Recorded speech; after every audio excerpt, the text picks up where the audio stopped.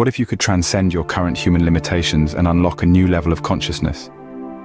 Today we'll delve into the revolutionary book Meta-Human by Deepak Chopra. This thought-provoking masterpiece invites us to ponder our untapped potential, encouraging us to transcend beyond our mundane realities and reach for a higher consciousness.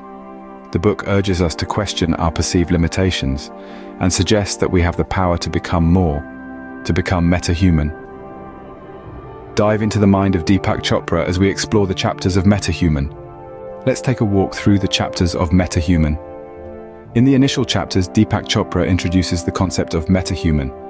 This term, as Chopra explains, is a state of consciousness that transcends our current human limitations. He suggests that we're not just physical beings limited by our senses and the material world, but that we're part of a boundless, timeless reality.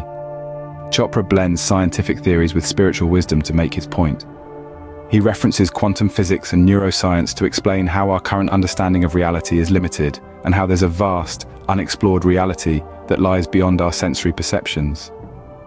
In a fascinating exploration of consciousness, he discusses how our current level of awareness is akin to looking at the world through a narrow slit. But what if we could widen that slit? What if we could tap into a higher level of consciousness? Chopra doesn't shy away from these questions. Instead, he invites us to consider the potential of our untapped consciousness. He suggests that by transcending our current state of awareness, we could experience life in a way we never thought possible, becoming metahumans. As we move further into the book, Chopra begins to provide practical steps to becoming a metahuman.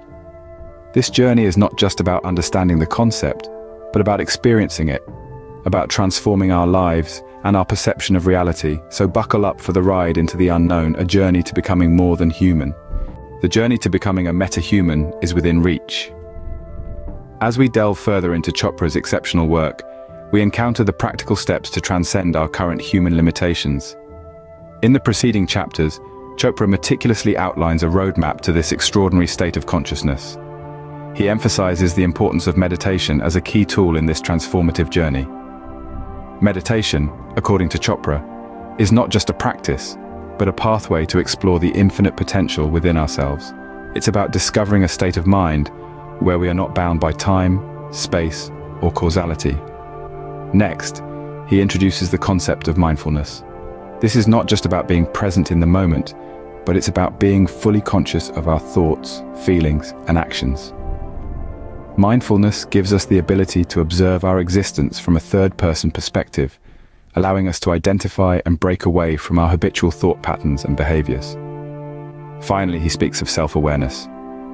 Self-awareness goes beyond knowing our likes, dislikes, or recognizing our emotions. It's about understanding our true nature, our fundamental essence. It's about recognizing that we are not just physical entities, but spiritual beings having a human experience. In these chapters, Chopra provides us with the tools and techniques to tap into this higher level of consciousness, to become meta-humans.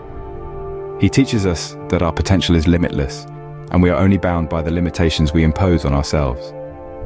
The path to becoming a meta-human is a journey of self-discovery and spiritual awakening.